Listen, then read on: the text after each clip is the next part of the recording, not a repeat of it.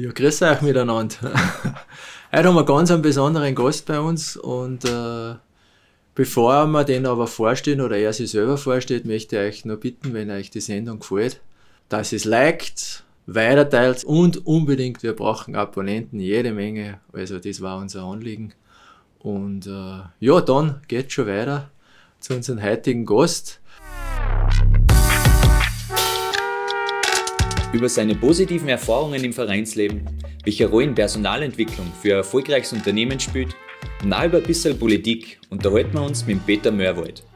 Der Peter ist Business Coach, Präsident vom Salzburger Wirtschaftsverband und Obmann der Blasmusikkapelle Werfen.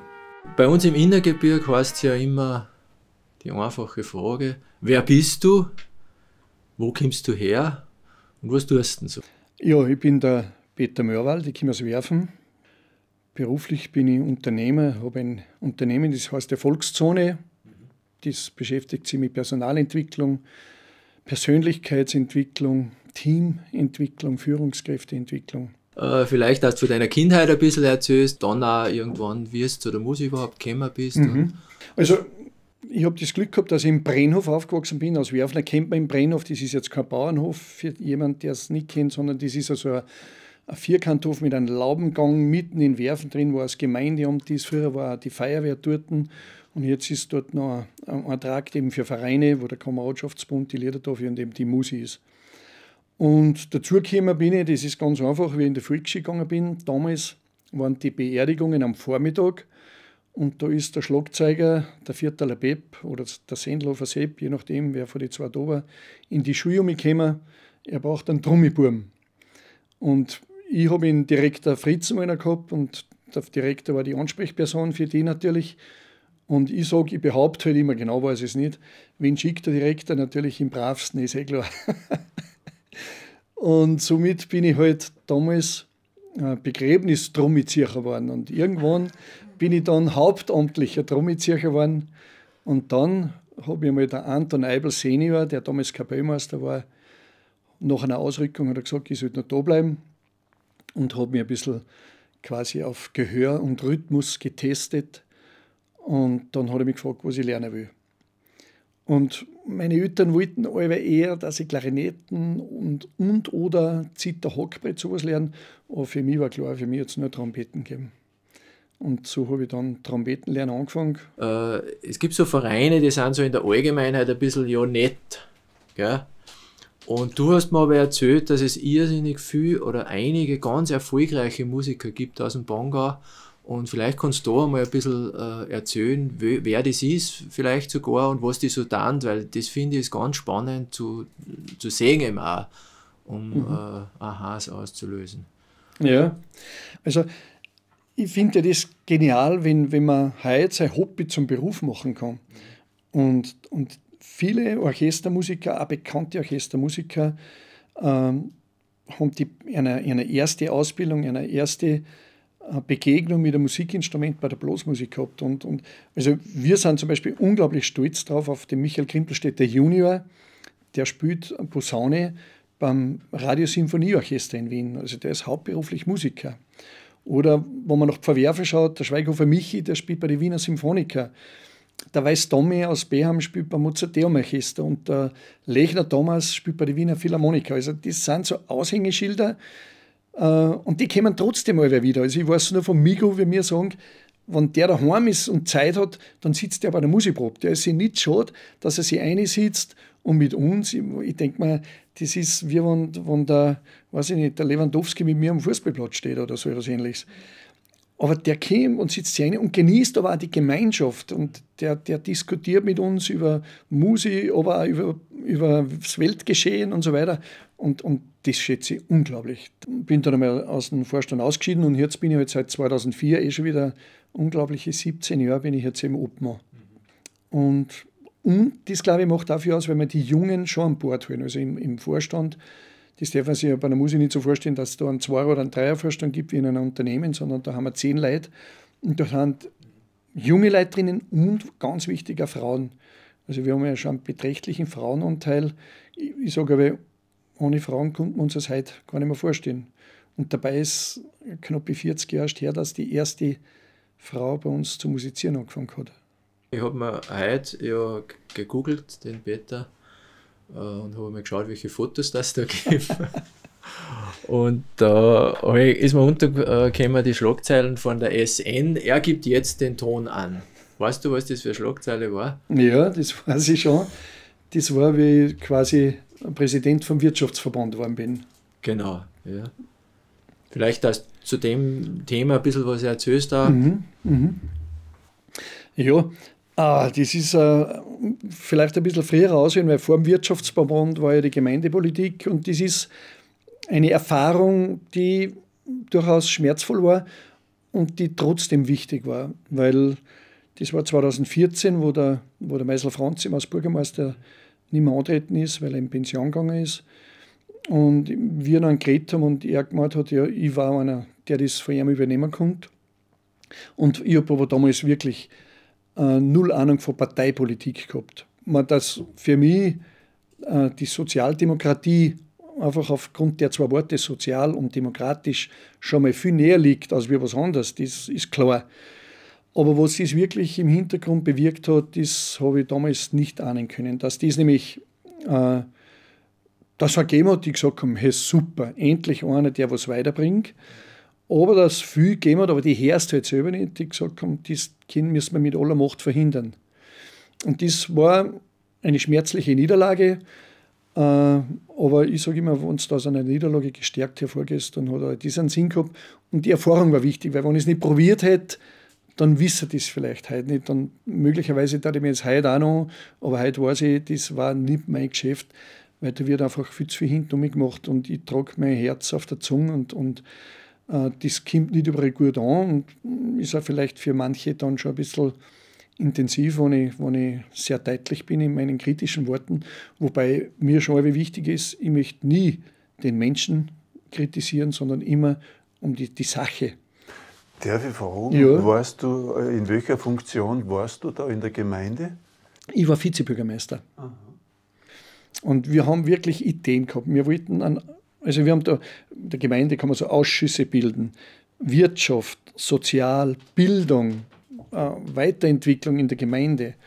Das wollten wir alles, das ist alles abgelehnt worden. Und da denke ich mir, das ist unglaublich schade, wenn in einer Gemeindevertretung Möglichkeiten nicht genutzt werden, nur damit man wen vielleicht stillhält oder hinterhält. Schade. Wie bist du dann zum S zum Wirtschaftsverband gekommen. Wirtschaftsverband ja, der Wirtschaftsverband ist ja auch SPÖ-nahe, sage ich mhm. jetzt einmal. Und äh, also 2017 habe ich dann den Vizebürgermeister zurückgelegt und bin eben aus der Gemeindevertretung ausgeschieden. Und 2000 18 im Herbst ist dann äh, eine Abordnung vorstellig worden vom Wirtschaftsverband, weil eben der Wirtschaftsverbandpräsident das zurückgelegt hat und sie auf der Suche nach einem, einem man Präsident, die sucht sie alles so im Bongaus, würde man sagen, von Hinteufel, mhm. dass einer gesucht wird. Und dann haben wir da ein paar Gespräche geführt und das hat man eigentlich gut gleich gesehen und jetzt muss ich sagen, da fühle ich mich wohl, weil auch wenn es, da, da gibt es ja noch ganz andere theoretisch gesehen jetzt parteipolitische Machtverhältnisse. Und trotzdem geht es immer um ein Interesse, das ist die Wirtschaft. Mhm. Vielleicht sagst du nochmal so deinen Fokusbereich vom Arbeiten. Ja, also ich, ich bin im Führungskräftebereich, ich bin viel im öffentlichen Bereich, äh, Schulleiterinnen, Bürgermeisterinnen, äh, wo es um gesunde Führung geht, gesund nicht nur im Sinne jetzt von Bewegung oder Ernährung, sondern gesund führen, dass ich selber mit mir im Einklang bin, weil dann kann ich andere Menschen auch viel besser führen und auch gesund führen. Weil wenn du heute 40 Jahre oder 30 oder nur jünger bist, dann hast du eine lange Arbeitszeit vor dir und da ist Gesundheit schon ein hoher Faktor. Also ich, ich habe eins habe ich gelernt, das ist wurscht, ob ich jetzt Führungskraft war in einem Unternehmen, ob ich jetzt selber Unternehmer bin oder ob ich Obmann bin oder Wirtschaftsverbandspräsident, mit Bitte Danke kannst unglaublich viel erreichen. Mit Wertschätzung und mit Akzeptanz schaffst du Zugehörigkeit. Und das ist ein Leitsatz von mir, das habe ich selber erfahren am eigenen Leib aus der, der früher angehört worden ist, der wertgeschätzt worden ist. Und das möchte ich einfach weitergeben. Und da ist unglaublich viel möglich. Ja, äh, Peter, vielleicht kannst du von der Werfner Wein raus und vom Seifenkistenrennen, weil da bist ja du maßgeblich daran beteiligt. Kurz erzählen, damit wir da herinnen in Altenmarkt da wissen, um was da ja. geht. Und überhaupt überall im Innergebirge. Die Weinraus ist was, was mir einfach einmal eingefallen ist, weil ich öfter im Burgenland bin, weil der Pinkel Peter, einer meiner besten Freunde, da oben gesiedelt ist. Und wenn du ihn aufsuchst, dann meistens ist das mit einem Anlass verbunden. Und da unten heißt es im November das Martini loben und da gehst du von Weinkeller zu Weinkeller und kostet quasi den Jungwein. Jetzt habe ich mir gedacht, wenn wir das für unsere Verhältnisse quasi evaluieren und das bei uns in Werfen machen, das muss du was Gewaltiges werden. Und dann haben wir mal so geredet mit, mit den Unternehmern, mit den Geschäften, dass wir sagen, ja, ein Weinbauer ist beim Schuhhaus Bondorfer, einer bei der Fleischerei Oberer, wieder einer beim Kaffeehaus oder beim Wirt oder und so weiter halt. Und die waren wirklich sehr positiv auf das eingestellt. Dann haben wir uns auf die Suche nach Weinbauern gemacht und wir waren natürlich sehr patriotisch und gesagt, ausschließlich Weinbauern aus Österreich. Und, und natürlich gibt es immer äh, Kritiker, die sagen von vornherein, das wird nichts, aber wir waren überzeugt, dass das so wird. Und tatsächlich hat das hat voll eingeschlagen. Also da haben wir äh, beim ersten Mal haben wir da schon, glaube ich, um die 1000 Besucher gehabt. Und dann haben wir das natürlich weiterentwickelt. Und jetzt war es, glaube ich, insgesamt viermal bis jetzt. Und, und das ist so bekannt worden. Wir haben dann auch geschaut, wie wir das weiter äh, von, von, von der, vom Fahren her, Wein und Fahren ist ja nicht unbedingt so kompatibel, klarerweise. Jetzt gibt es die Möglichkeit, dass man mit, mit der Eintrittskarten, mit dem Zug von Salzburg reinkommt oder mit dem Bus von Behofen und so weiter. Beim Seifenkistenrennen, das ist ja mit der Muse. Jetzt hm, ist ja so, dass man eigentlich als Musikverein wohl von der Gemeinde subventioniert wird, aber die Gemeinden haben natürlich auch nicht so viel Geld, dass sie unser, ganzen, unser ganzes Budget abdecken können. Jetzt sind wir halt viel auf die Bevölkerung angewiesen und damit man nicht nur um ein Dumm marschiert und um Spenden ersucht, machen wir seit, ich glaube, seit ja, über 30 Jahren machen wir ein Thema Shoppen. Und wir haben gesagt, wir arbeiten selber, dafür laden wir uns immer eine Gaskapelle ein. Und die Gaskapelle hat um 6 Uhr zum Spielen angefangen, um halb neun ist dann eine Tanzmusik gekommen und um Mitternacht war die Mitternachtshow. Die Leute haben gemerkt, hoppala, die Mitternachtsshow ist das Highlight. Jetzt sind die Leute immer später gekommen. Und uns hat das Herz ein bisschen weh, weil die Blasmusik, die Gaskapelle, die im Sechs gespielt hat, da waren relativ wenig Besucher. Jetzt haben wir uns irgendwann einmal äh, auf Ideenfindung begeben, haben gesagt, wir brauchen was. Wenn um 6 die Gaskapelle den ersten Ton spielt, dann muss der Brennhof voll sein. Und so haben wir auf die Seifenkisten reingekommen. Und da haben wir dann ausgeschrieben, dass die Leute Seifenkisten bauen und das hat am Anfang einen Hype ausgelöst. Da haben, ich glaube, am ersten einen waren 25 Seifenkisten da. Und das war, also, das haben wir uns in unseren Künsten, Träumen nicht erhofft, dass das so einschlägt. Und das war genial, was da alles gebaut worden ist, weil sich die Leute die Mühe gegeben haben. Generationen, Großväter mit, mit Kindern und Väter, Freundeskreise, die haben da alle Seifenkisten gebaut und haben sie angemeldet und sind bei dem Rennen mitgefahren. Du, aber die Streckenführung, äh, Werfen ist ja natürlich prädestiniert, gell? Ja. Hammer, wo ist, wo ist Start gewesen? Der Start war beim Werfnerhof draußen und das Ziel war da, in, wo, wo es im Brennhof reingeht. Da war das Ziel. Und das war so ideal, weil es, das ist, da ist ein Gefälle rein, aber es ist auch nicht steil. Ja. Und es ist nicht so unbedingt ganz kurvenreich. Jetzt war das, das Risikopotenzial. Als Verein hast du ja Verantwortung. Äh, du kannst nicht jetzt da, weiß ich nicht, von dir überfahren. Aber da eine, das hat, hat sich so entwickelt und wir haben ja dann auch die, die Polizei gefragt, auf das uns mit einer Radarpistole messen und die haben da wirklich Höchstgeschwindigkeiten von über 50 km/h gemessen. Und bei so wenig Gefälle, da weiß man, wo sich die Leute im Hintergrund Gedanken gemacht haben, was die bauen, dass aerodynamisch ist, dass die Radeln gut rennen und so weiter. Also das fasziniert mich. Und das ist auch wieder so, du kriegst so viel Zug dann, äh, wenn, wenn die Leute kommen und sagen, das war eine klasse Veranstaltung.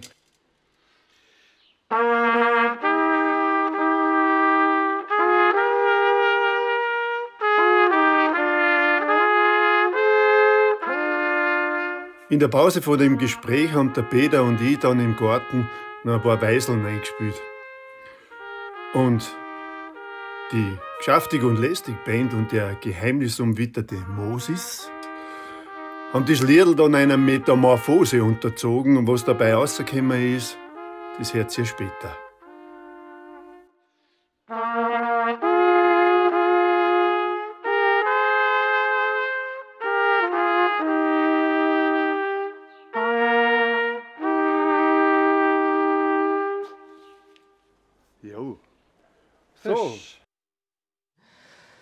Ja, was ich total spannend finde, ist die Kombination von der Musik und der Musikkapelle.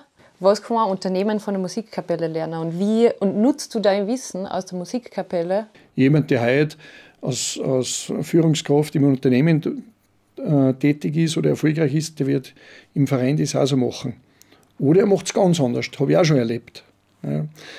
Und in Wirklichkeit, das ist so mein Zugang, ist so dieses soziale, menschliche äh, Wertschätzung, Anerkennung, das kommt aus der Vereinsecke.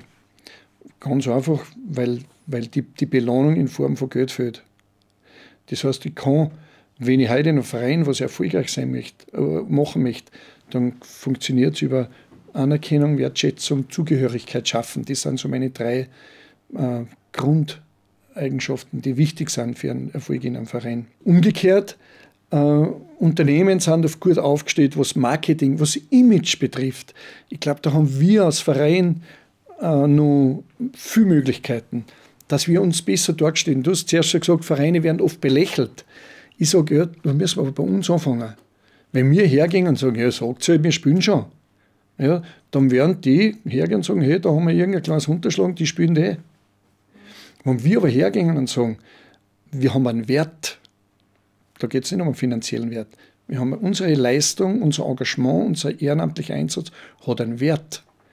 Dann wird das auch irgendwann von der anderen Seite so gesehen werden, dass ich sage, ja genau, da, die Musik, die nimmt man nicht einfach für irgendwas her oder wen immer. Es geht für andere Vereine genauso.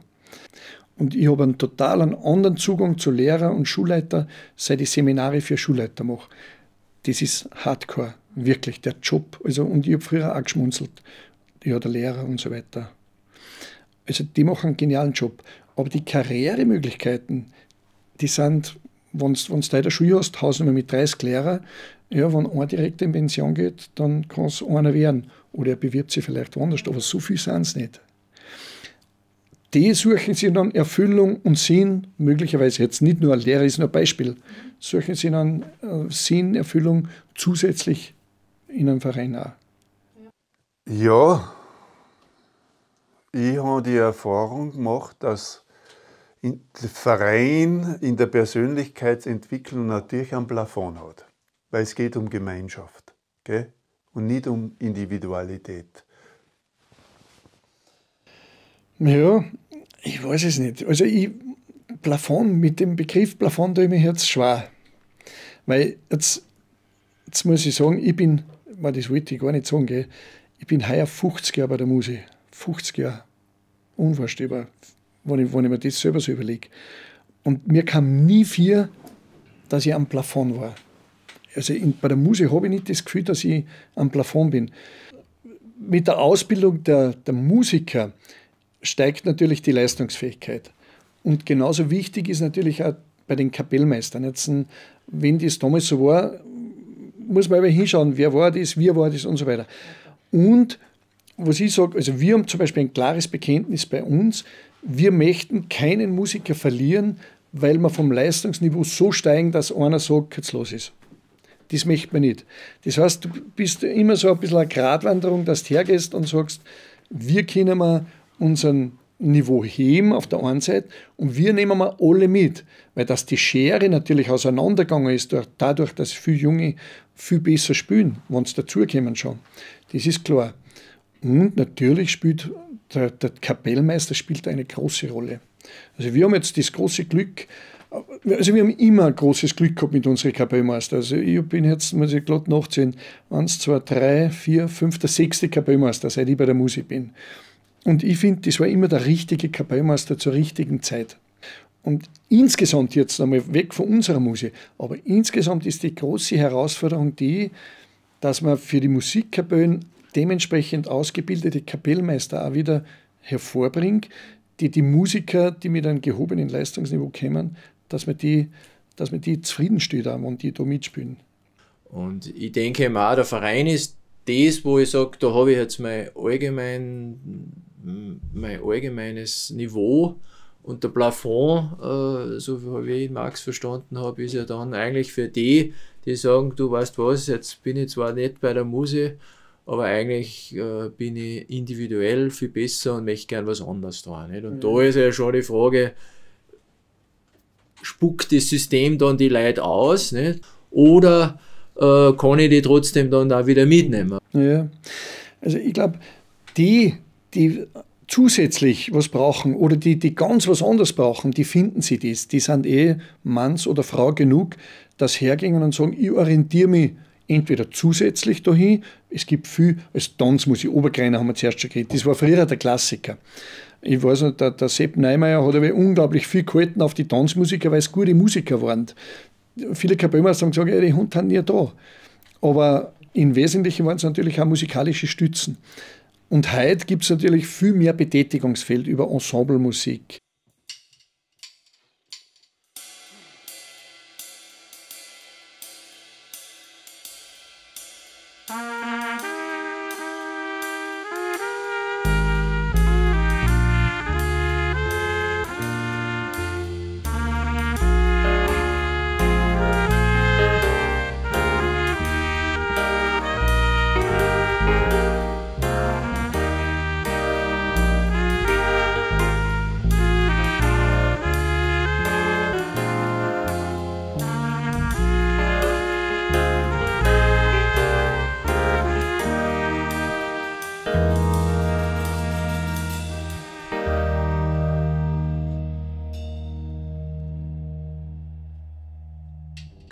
Die Grundlage vom richtig Musizieren ist, dass alle zwei da sind. Oder dass die Musiker jetzt da sind. Gell? Das macht die Musik. Dass die jetzt da sind, jetzt den Ton machen und gleichzeitig horchen, was der andere sind. Insofern sage ich, war das eine sensationelle Anweisung für die Politik. Ja? ja, ja. Ich muss da sein, ich kann einen Ton machen, ich muss gleichzeitig horchen, was der andere macht und tut. Insofern kommt da wieder ein Spiel herauskommen. Okay? Uns hat einmal äh, äh, ein verdienter Musiker und Komponist, der jetzt schon lange nicht mehr lebt, der hat gesagt, die besten Musiker kehren aufs Schlagzeug, hat der gesagt. und, und so denke ich oft, die besten Visionäre, die besten Führungskräfte kehren eigentlich in die Politik und die sollen gut verdienen. Nur die brauchen ein Gewissen für das Ganze.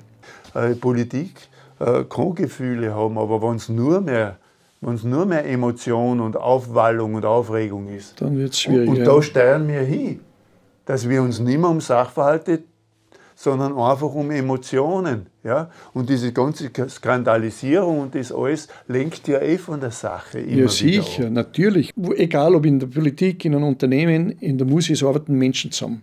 Und es gibt einen Inhalt. Die Musik, die Unternehmensinteressen oder die Politik. Und dann gibt es einen Prozess dazwischen, nämlich wie mache ich was. Und ich glaube, in der heutigen Politik, die, die Menschen sehen, den Menschen und sehen den Inhalt. Der Mensch mag sympathisch sein, der Inhalt mag logisch erklärbar sein, da könnte mir jetzt sofort viel aufs Tableau bringen.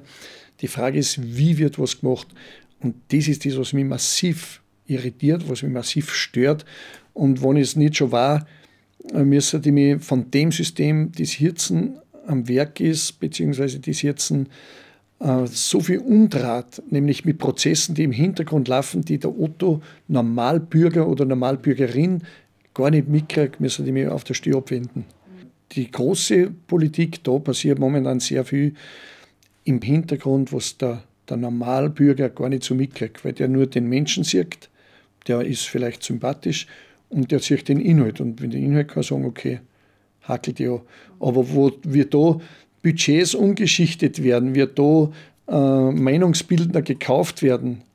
Das, also der Begriff Urbanisierung ist leider nicht weit hergeholt. Leider. Was war deine wirtschaftliche Vision? Meine wirtschaftliche Vision ist die, und da bin ich jetzt ganz im klaren Bereich, und darum, ich sage immer, Sozialdemokratie und Unternehmertum ist in Wirklichkeit die ideale Ergänzung. Ich habe einmal einen Generaldirektor gehabt, der hat gesagt, wenn es dem Unternehmen gut geht, geht es dem Mitarbeiter gut. Und wenn es den Mitarbeitern gut geht, geht es den Kunden gut. Und das, kannst, das Radl kannst von jeder Seite her auf. Du kannst sagen, wenn es den Kunden gut geht, geht es dem Unternehmen gut, geht es den Mitarbeitern gut. Und das gilt nicht nur in wirtschaftlicher, materieller Hinsicht, sondern das gilt auch in sozialpolitischer Hinsicht. Wenn ich heute eine Firma habe und meine Mitarbeiter geht es gut, dann kann ich von dir eine ganz andere Leistungsbereitschaft erwarten, als wenn ich hergehe und sage, so, und jetzt kürzt mein das noch und jetzt kürzt mein das noch und außerdem, du sollst mehr arbeiten und, und was immer. Also aus meiner Erfahrung, wie ich Verkaufsleiter geworden bin, da habe ich gelernt, wie man als Verkaufsleiter führt. Und dann gibt es diese Rankings im Vertrieb, und damals hat es, glaube ich, 80 Verkaufsgebiete gegeben in Österreich. Und ich war immer so 30 plus minus. Das heißt, ich bin nie aufgefallen. Nicht nach oben, aber auch nicht nach unten. Und habe das so da, wie ich es gelernt habe. Und das war im Wesentlichen Zahlen, Daten, Fakten, äh, Frequenz, äh, Verkaufserfolge und, und, und. Dann habe ich äh, ein persönliches Thema hat mich begleitet, also Lebens, also damals so eine kleine Lebenskrise mit Privat und so weiter, Trennung, so. Und dann merke ich, hoppala, jetzt muss ich was tun, einmal für mich. Und dann ist mir halt das halt so zugefallen und habe Mentaltrainerausbildung gemacht. Und das, was ich in der Mentaltrainerausbildung gelernt habe, war natürlich weit weg von Zahlen, Daten und Fakten, sondern war immer du und ich. Und das habe ich eingesetzt als Verkaufsleiter mit meinen Mitarbeitern. Und plötzlich waren dieselben Mitarbeiter mit demselben Verkaufsleiter. Ich behaupte mit weniger Druck, bestes Verkaufsteam. Ja. Zuhorchen. Ja. Ich, ich, ich, habe, bin aber viel Plätzchen gemacht, also Kleinigkeiten oft. Ein Mitarbeitergespräch musst gut vorbereiten. Jetzt habe ich mich hingesetzt. Wie kriege ich vom Mitarbeiter meist Informationen, indem ich viele Fragen stelle? Haben wir meine Fragen notiert und so weiter, habe mit dem geredet. Und während der Antwort gegeben hat, habe ich schon geschaut, was für Fragen stelle ich am nächsten. Und dann sagt er, weißt du was, du hörst mir ja nicht einmal zu. Und ich habe ihm nicht widersprechen können. Und mir ist es wie Schuppen von den Augen gefallen. Dass ich mir denke, was bist du eigentlich für, sage ich jetzt nicht, ist nicht druckreif. Aber das sind die Erlebnisse, wenn es da dann kann ich aus einem Misserfolg auch einen Nutzen ziehen, wenn ich merke, da habe ich einen Handlungsbedarf. Jetzt hätte ich noch eine Frage. Christoph, hast du auch noch eine Frage? Ja, das Einzige, was, was, was mich interessiert, wie man das macht, eine Diskussion so zu führen, dass es um die Sache geht. Naja, ich komme, jetzt habe ich drei Worte, ich habe Spaß, Freude, Glück und die anderen drei Worte sind Mensch, Prozess und Inhalt. Wenn Menschen zusammenarbeiten, dann geht es häufig um den Inhalt. Diskussion, Emotion, Konflikt, Konsens, Kompromiss und was immer. Und wenn ich, wenn ich vorher in einem Prozess äh, klarlege, wie wir miteinander umgehen, was passiert, wenn jemand emotional wird, dass ich jemanden abhole, dann ist schon mal viel passiert, weil dann wird das selber bei einem was auslösen. Und das Zweite ist, äh, dass man hergeht und durchaus einmal unterbricht und sagt, stopp, an der, genau an der Stelle möchte ich unterbrechen, weil wir bewegen uns jetzt in eine Richtung, das. Da gehört natürlich die Rollenklarheit von einem, Moderat von einem Moderator und einer Moderatorin dazu. Und oft ist es so, dass der Moderator nicht nur ein Moderator ist, sondern Diskussionsteilnehmer oder vielleicht sogar Chef und so weiter. Und ich sage das oft, wenn es um Führungskräfte geht, wer sagt, dass du Moderator sein musst? Und wenn du Moderator und Führungskraft bist oder Moderator und Diskussionsteilnehmer, dann ist es wichtig, dass du deine Rolle definierst und sagst, als Moderator ist mir jetzt wichtig, dass ich an der Stelle unterbrich. Und als Diskussionsteilnehmer ist mir wichtig, dass ich sage, Franz, das taugt mir voll oder das taugt mir gar nicht. Jetzt waren mir neu eingefallen, die drei wichtigsten Worte von dir fürs Innergebirg. naja, für mich steht ganz um gemeinsam. Und gemeinsam, da kann man, kann man so viel erreichen. Und wir erreichen ja viel. Ich finde, Innergebirg, das hat so viel, halt würde man sagen, USPs. Und wenn wir uns die gemeinsam aussuchen, wenn wir mit die ausgehen, außen schauen und in die Welt aussehen, mit, mit, all, mit Bedacht, so wie, wie du, du sagst, mit, mit Ressourcen, mit schonenden Ressourcenumgang, äh, dieser, äh, wie heißt dieser, dieser schonende Tourismus, jetzt fällt es mir gerade nicht ein, das Wort. Nein, ich weiß, ist aber, also nicht mehr dieses Massengeschäft, sondern ein bisschen mehr auf die Qualität achten, ein bisschen mehr wieder zurück. Jetzt bin ich gerade mit dem Radler mehr von einer Alm gewesen und dann ist hinter mir ein Einheimischer gesessen mit einem deutschen Touristen-Ehepaar. Ich mir gedacht, früher habe ich mir die, die Beefke-Saga so gerne angeschaut und da denke ich mir, der prostituiert sich da. Zumindest hat es so gelungen. Der verkauft Leib und Seele nur, damit er seine Gäste zufriedenstellt und auf die Alm aufführt. Das konnte ich halt nicht mehr. Habe ich auch da, habe ich alles da. Aber konnte ich halt nicht mehr. Also so gemeinsam, behutsam und generationenübergreifend. Sind wir da dabei? Im Sinne dessen, dass ich das dann schneide, sage ich dir jetzt einen Aber jetzt einmal danke. Ja, boah, das ist schon halb sieben ist jetzt. Ja, ja. Dankeschön, so wie. Vielen Dank.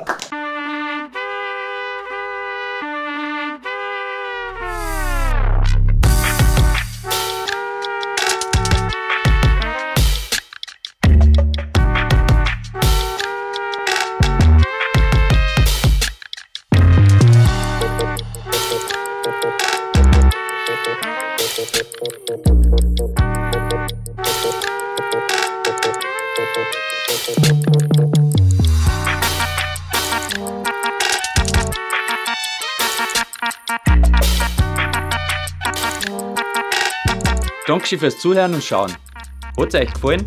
Dann unterstützt uns mit einem Abo auf unsere Kanäle oder einer Spende. Und besonders freuen wir uns, wenn wir ins Gespräch kommen. Also kommentiert fleißig oder schreibt uns eine Nachricht auf podcast.innergebirg.at. Innergebirg, geschäftig und lästig, ist ein unabhängiger Audio- und Videopodcast aus dem Salzburger Land. Mehr Informationen auf www.innergebirg.at.